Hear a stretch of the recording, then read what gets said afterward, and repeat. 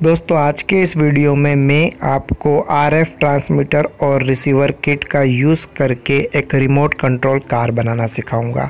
आप देख सकते हैं यहाँ रिमोट हैंडसेट में चार बटन है ए बी सी डी इसमें जो ए और सी का बटन है, इसका यूज़ करके हम लेफ़्ट और राइट मूव करते हैं कार को और बी और डी का जो बटन है, उसका यूज़ करके इसे फॉरवर्ड और बैक मोशन देते हैं, मूवमेंट देते हैं। तो आप देख सकते हैं, चार बटन का यूज़ करके हम इस कार को चारों दिशाओं में चला सकते हैं लेफ़्ट राइट और फॉरवर्ड एंड बैक ओके तो इस तरह से हम कोई भी खिलौना कंट्रोल कर सकते हैं इस आर एफ़ रिमोट किट का यूज़ करके। जो कंपोनेंट्स हमने यूज़ किए हैं, सारे इजीली अवेलेबल है। आपको online purchase link description box में मिल जाएँगे, जिसके थ्रू आप अमेजन से परचेज कर पाएँगे ये सारे कंपोनेंट्स इसके अलावा ब्लॉग आप विज़िट कर ले, जहाँ पर सर्किट डायग्राम मिल जाए। जो कंपोनेंट्स हमें सर्किट बनाने में चाहिए, कुछ इस प्रकार है। ये आरएफ की रिसीवर और ट्रांसमीटर किट ये आपको अमेजन पे मिल जाएगी। इसके ऊपर एक मैंने सेपरेट वीडियो बनाया है। इस किट को कैसे यूज़ करना है, उसको आप देख लें। लिंक डिस्क्रिप्शन बॉक्स में है। ये जो किट है व्हील्स की, ठीक है? इसमें मोटर व्हील और कास्टर व्हील आएगा। ये आपको अमेजन पर मिल जाएगा। ये जो ब्रेड बोर्ड है और ये I C L two nine three motor controller ये भी आपको परचेज़ करने रहेंगे। इनका लिंक भी परचेज़ लिंक डिस्क्रिप्शन बॉक्स में है।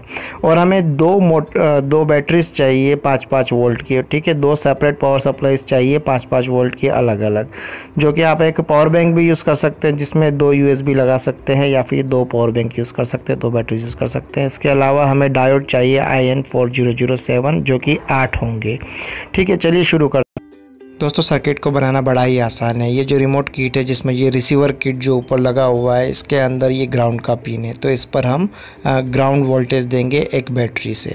मैंने बताया था, दो बैटरीज यूज़ करेंगे, एक बैटरी तो हम लगाएँगे यहाँ पर L two nine three I C पर और दूसरी बैटरी लगाएँगे यहाँ इस रिसीवर पर। तो ग्राउंड वायर जो है, हम यहाँ पर जोड़ देंगे और ये रेड वाला वायर जो मैंने अभी ड्रॉ किया है, ये फाइव वोल्ट सप्लाई के लिए रहेगा। तो बैटरी का पॉजिटिव टर्मिनल यहाँ जोड़ेंगे। उसके बाद जो डी ज़ीरो से लेकर डी थ्री तक जो पिन है, या आउटपुट की पिन है जिस पर सेपरेट हाई आउटपुट आएगा इंडिविजुअली एक एक बटन दबाने पर एक एक पिन हाई होगी। और यहाँ पर जो हमने ये आठ डायोड है, ये दो दो के पेयर में रहेंगे दोस्तों। ठीक है तो दो दो के पेयर में ये चार पेयर बन जाएँगे। अब इसमें क्या करेंगे, यहाँ इन डायोड्स के ये वाले दो एंड आपस में कनेक्ट कर देंगे। इस आईसी के जो इनपुट के वायर से वहाँ पर। तो इस आईसी का एक सेपरेट वीडियो बनाया है, कैसे उसे मोटर से कनेक्ट करना है मोटर को क्लॉकवाइज और एंटी क्लॉकवाइज चलाने के लिए। तो वो वीडियो आप ज़रूर देख लें, उस वीडियो का लिंक भी डिस्क्रिप्शन बॉक्स में है। तो फ़िलहाल हमने क्या किया, ये एक इनपुट को जोड़ दिया है इन डायोड से, ठीक है? उसी तरह वो जो अगला ग्रीन वायर आप देख रहे हैं पिन नंबर टेन जो है तो उसे हम दूसरे डायोड के पेड़ से जोड़ देंगे। तो मैं वहाँ पे सेपरेट कलर का वायर ले लेता हूँ, ताकि आपको कन्फ्यूज़न ना रहे। तो हम क्या करेंगे कि यहाँ पर इन दो डायोड का आपस में कनेक्ट किया है और अब यहाँ पर ये जो पिन नंबर टेन है, यहाँ पर एक वायर को हमने एक्सटेंड किया। इस पिन को हम कनेक्ट करेंगे यहाँ पर इन दोनों डायोड से। ठीक है सेपरेट कलर का वायर मैं यहाँ यूज़ कर रहा हूँ ताकि आपको कोई कन्फ्यूज़न ना हो। तो इनको हम इन दो डायोड से यहाँ कनेक्ट कर देते हैं। एल टू नाइन थ्री जो है ये मोटर कंट्रोलर आईसी है जो मोटर को दोनों डायरेक्शन में घुमा सकती है, इन दोनों इनपुट पिंस पर हाई आने पर। ठीक है, उसी तरह इसमें दो चैनल होते हैं जिसमें हम दो मोटर्स कनेक्ट कर सकते हैं। तो जो वीडियो मैंने बनाया है इस आईसी के ऊपर, एक बार आप वो ज़रूर विज़िट कर लें और इसमें ब्लॉग का डिस्क्रिप्शन लिंक भी है। आप एक बार ब्लॉग भी विज़िट कर लें, ताकि आपको सर्किट जो है क्लियर हो जाए और डिस्क्रिप्शन पे मिल जाए। ठीक है, यहाँ पर ये जो पिन नंबर टू है, ये भी इनपुट की पिन है दूसरी मोटर के लिए तो उसे हम कनेक्ट कर देंगे यहाँ पर नीचे की तरफ़ जो दो डायोड है उनसे। ठीक है तो ये जो पिन नंबर टू है, ये क्लॉकवाइज घुमाएगी इस नीचे वाली मोटर को। ठीक है, और जो पिन नंबर सेवन है, वो एंटी क्लॉकवाइज घुमाएगी इस नीचे वाली मोटर को। ओके?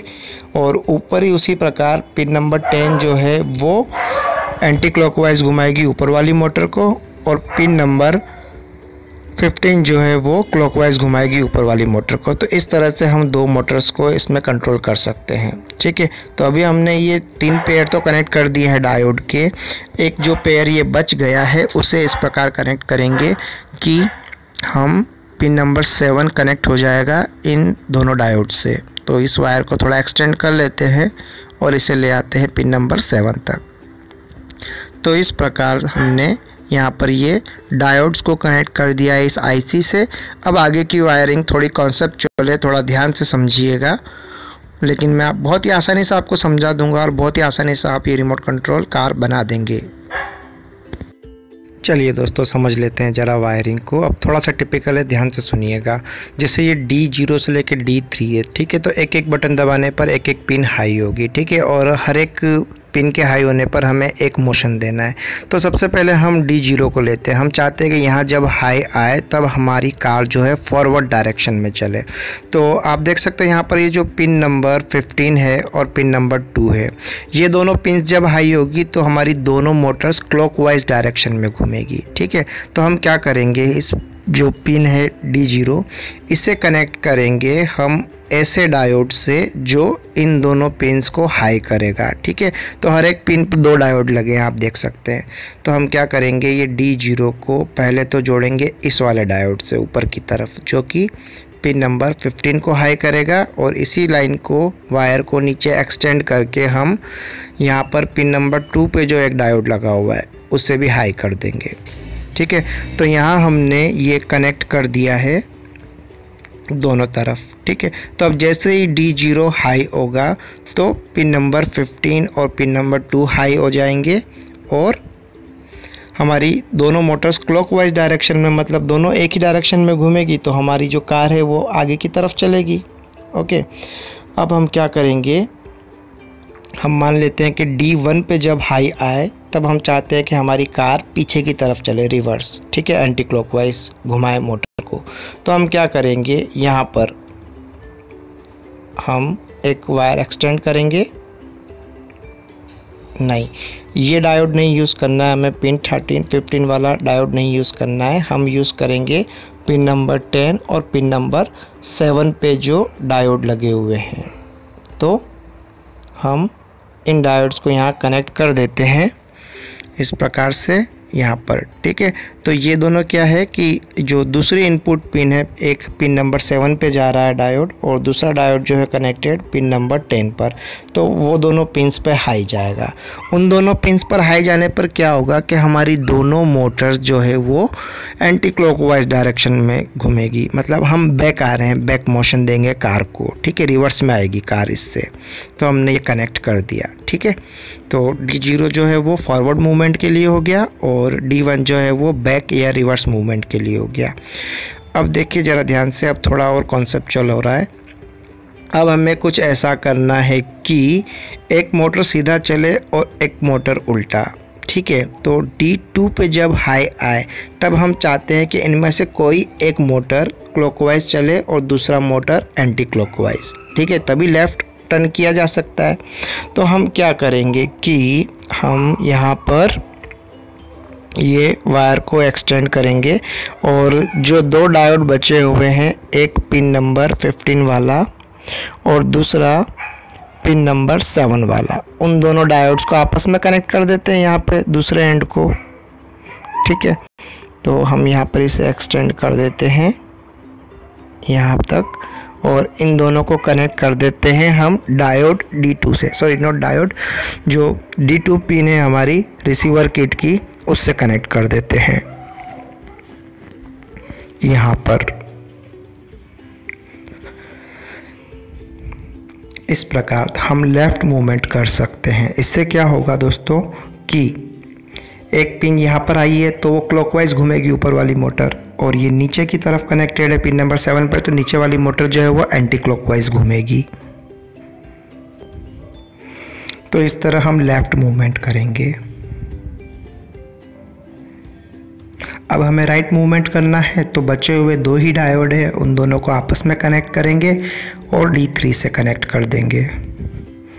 तो यहाँ पर जो ये पिन है आउटपुट पिन आरएफ रिसीवर में, उसे हम कनेक्ट कर देंगे इन दोनों डायोड से, जिससे कि नीचे वाली जो मोटर है, वो क्लॉकवाइज घूमेगी और ऊपर वाली मोटर एंटी क्लॉकवाइज जिससे राइट डायरेक्शन में हमारी कार मूव होगी। तो इस प्रकार हम L293 के थ्रू दो मोटर्स को कंट्रोल कर सकते हैं। हमारी रिमोट कंट्रोल कार बन जाएगी। बहुत ही आसान सा सर्किट था, बहुत ही आसानी से मैंने आपको समझाया। अब इस रिमोट में जो ये चार बटन हैं, इनका यूज़ करके हम इसे ड्राइव कर सकते हैं मोटर को। आप देख सकते हैं, बहुत ही आसानी से मैंने आपको समझाया। आई होप आपको समझ में आया होगा। और मैंने कई सारे सर्किट्स बनाए हैं रिमोट कंट्रोल पर, जिनके लिंक डिस्क्रिप्शन बॉक्स में है, आप उनको ज़रूर विज़िट करें। और आई होप आपको पसंद आया होगा तो कमेंट्स ज़रूर कर ही दें और लाइक बटन तो दबा ही दीजिए। तो यहाँ पर हमारी ये कार कंप्लीट हो गई है। आप देख सकते हैं यहाँ बटन दबाने पर बी और डी दबाने पर बैक और फॉरवर्ड आता है और ए और सी दबाने पर लेफ़्ट राइट मूवमेंट मैं आपको बता दूँ इसके पार्ट्स किस तरह से जुड़े हुए हैं। देखिए, मैंने बताया था कि यहाँ पर हमें L two nine three motor controller IC use करनी जिसमें दोनों तरफ़ दो मोटर्स लगे हैं। आप देख सकते हैं ये दोनों मोटर्स यहाँ कनेक्टेड जिन पर दो व्हील लगे हुए हैं, ठीक है? और अब आप यहाँ पर देखेंगे कि ये हमारा आर एफ़ रिसीवर किट लगा हुआ है। आर एफ़ रिसीवर किट पे जो एक और वीडियो बनाया है, वो आप ज़रूर देख लें ताकि उसकी पिन से आप फैमिलियर हो जाए कैसे यूज़ करना आपको पता चल जाए। इसके अलावा हमने यहाँ पे आठ डायोड यूज़ किए हैं और आप देख सकते हैं, मैंने दो पावर सप्लाईज़ की बात की थी तो एक पावर सप्लाई यहाँ नीचे लगी हुई है पाँच वोल्ट की और एक पावर सप्लाई यहाँ पर ऊपर लगी हुई है जो आरएफ को पावर दे रही है। और दूसरी पावर सप्लाई जो है इन मोटर्स को पावर दे रही है एल को पावर दे रही है।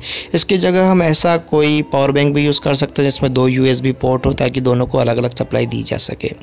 ठीक है तो इस तरह से ये कार हमने बनाई है। आप देख सकते हैं, मैंने एक सिंपल अरेंजमेंट बनाया है, कुछ ज़्यादा खास नहीं बनाई है। ब्रेड बोर्ड के नीचे ही मोटर्स फिक्स कर दिए हैं और आगे कास्टर व्हील फिक्स कर दिया है। उसके अलावा दो मोटर्स है और दो बैटरीज़ है। एक बैटरी जो है वो एल टू नाइन थ्री को पावर दे रही है, जिसके थ्रू मोटर्स मूव कर रही है, और एक बैटरी जो है वो आर एफ़ रिसीवर को पावर दे रही है।